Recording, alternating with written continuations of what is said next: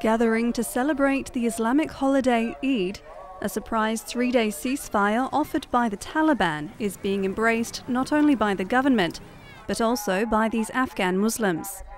د طالبان ورونو نه مې خواهش ده چې خدای ته وګوري چې بس ته نور سوله وکړي دغه اوربند مو چې دی چې درې ورځې اعلان کړی که ټول عمر ته اعلان شي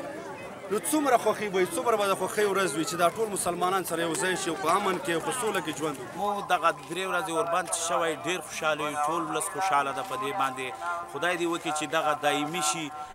The ceasefire comes after months of intensifying attacks on Afghan forces, even as the insurgents signed an initial peace deal with the US in February.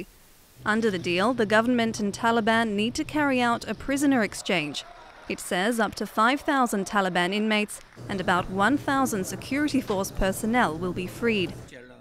On Sunday, Afghan authorities said they would release 2,000 insurgents as a goodwill gesture in response to the ceasefire. اعلان میکنم که در رهایی زندانیان طالبان حرکت سریع خواهد آمد و اقدامات جدی صورت خواهد گرفت در عین حال سر طالبان صدا میکنیم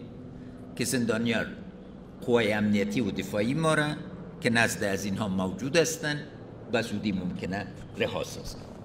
This is only the second ceasefire that both sides have agreed to since US troops invaded Afghanistan in 2001.